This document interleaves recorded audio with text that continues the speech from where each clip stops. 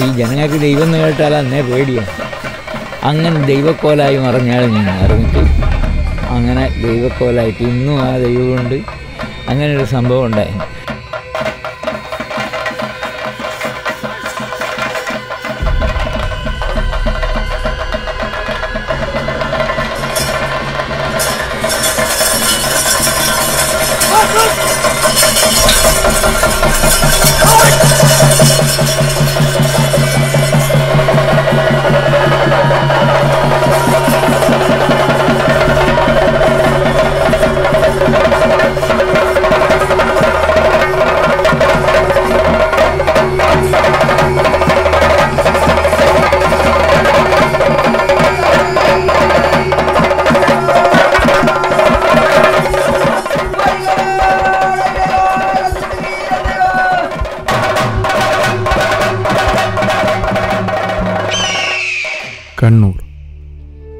തരകളുടെയും തിരകളുടെയും നാട് കണ്ടൽ കാടുകളുടെ നാട് സാംസ്കാരികമായും ചരിത്രപരമായും സമ്പന്നമായ നാട് തെയ്യങ്ങളുടെ നാട്.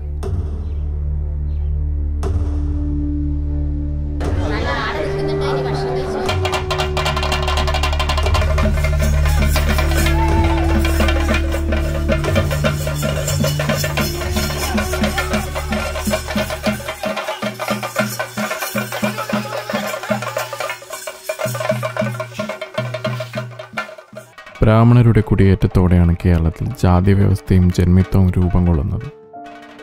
താമസങ്ങളുടെയും തൊഴിലിന്റെയും അടിസ്ഥാനത്തിൽ ജനങ്ങൾ വിവിധ പേരുകളിൽ അറിയപ്പെട്ടിരുന്നെങ്കിലും സവർണനെന്നോ അവർണനെന്നോ ഉള്ള വിഭജനം സമൂഹത്തിൽ നിലനിന്നിരുന്നില്ല.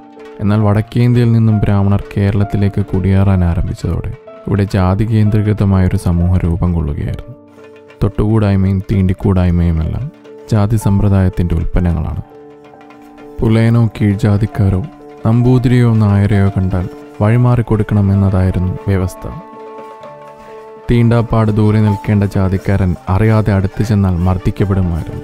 ഇതിന് മേൽജാതിക്കാരന് അവകാശമുണ്ടായിരുന്നു. നായരെയും നമ്പൂതിരിയും തീണ്ടും വിധം പോകുന്ന അവർണനെ വധിക്കുകയും ചെയ്യുമായിരുന്നു.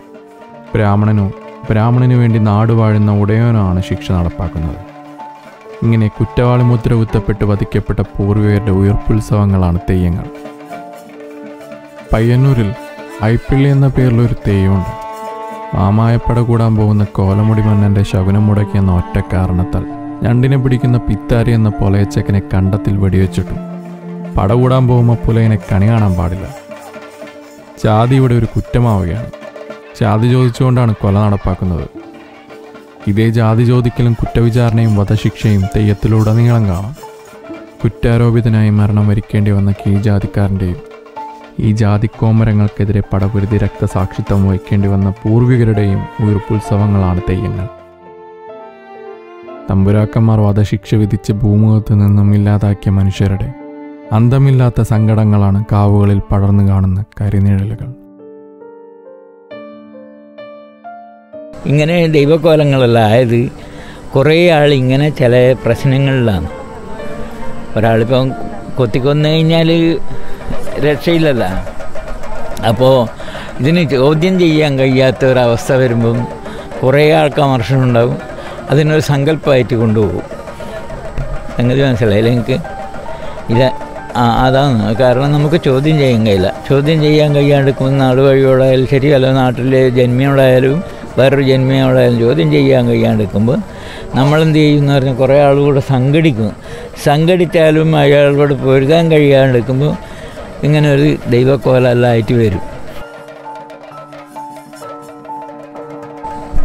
തെയ്യം കെട്ടുന്നത് വണ്ണാനാണ് വണ്ണാൻ എത്രയോ കീഴ്ജാതിയാണ് അത് എല്ലാ ജാതിന്റെയിലും ഒരു കീഴ്ജാതിയിൽപ്പെട്ടതാണ് വണ്ണാൻ ആ ആ വണ്ണൻ തെയ്യം കെട്ടി വന്നു കഴിഞ്ഞാൽ നമ്പൂതിരി ഇങ്ങനെ തൂകണം മനസ്സിലായ നിങ്ങൾക്ക്? നമ്പൂതിരിക്ക് നമ്പൂതിരി തോത് പിന്നെ ഈ ചില സമയം പണ്ണാന്റെ കാലെണ്ണ തൊട്ട് തലയിൽ വെക്കും. കാലോട്ട് തലയിൽ വെക്കലവർ കുറവാണ്. എങ്കിലും കാലെണ്ണ തൊട്ട് തലയിൽ വെക്കും. എന്ന് പറഞ്ഞാൽ അന്നേരം നിങ്ങൾ പറഞ്ഞ പോലെ ദൈവം ആരാന്ന്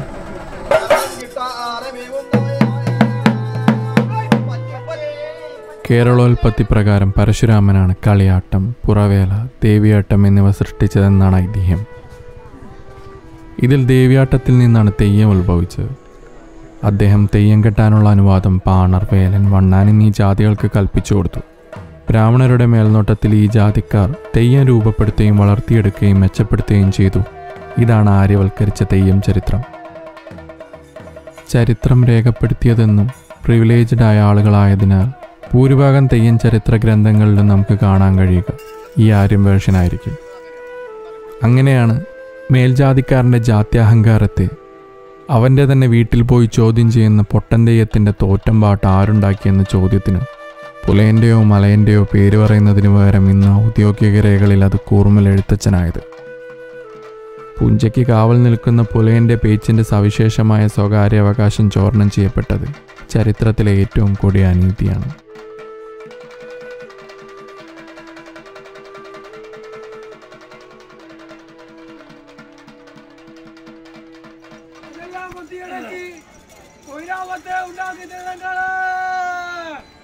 അയിത്തോച്ചാടനത്തിന്റെ ഭാഗമായി കേരളത്തിൽ നിന്ന് തൊട്ടുകൂടായ്മയും തീണ്ടിക്കൂടായ്മയും അപ്രത്യക്ഷമാകാൻ തുടങ്ങി.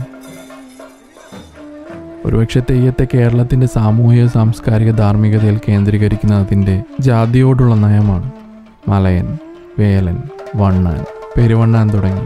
താഴ്ന്ന ജാതികളിൽ നിന്നും സമുദായങ്ങളിൽ നിന്നുമുള്ളവരാണ് കലാകാരന്മാർ. സവർണ കുടുംബങ്ങളിലോ കാവുകളിലോ ക്ഷേത്രങ്ങളിലോ ആണ് തെയ്യം കെട്ടിയാടുന്നത്. ഇന്ന് ഈ കാലഘട്ടത്തിൽ ഇത് കേൾക്കുമ്പോൾ അത്ര പ്രസക്തമല്ല എന്ന് തോന്നുമെങ്കിലും ഐത്തോച്ചാടനത്തിന് മുമ്പുള്ള കേരളത്തിൽ ചില തെയ്യങ്ങൾ എങ്ങനെ ആ മണ്ണിൽ നിലനിന്നു പോന്നു എന്നത് ഉത്തര കേരളത്തിന് പുറത്തുള്ളവർക്ക് ഇന്നും വിശ്വസിക്കാൻ പ്രയാസമുള്ള കാര്യമാണ്.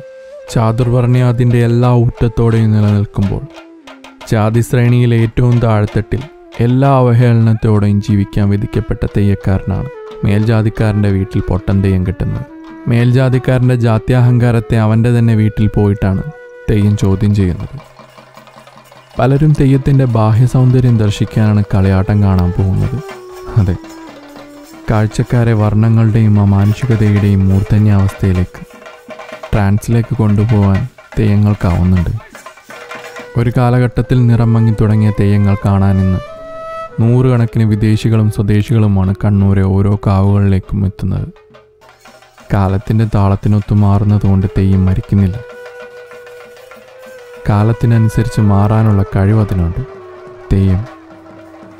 ഒരു ചിരഞ്ജീവിയെപ്പോലെ നൂറ്റാണ്ടുകാലം ഇനിയും ഈ മണ്ണിൽ ഉറഞ്ഞതുള്ളൂ. തുള്ളും തെയ്യത്തിന് മരണമില്ല.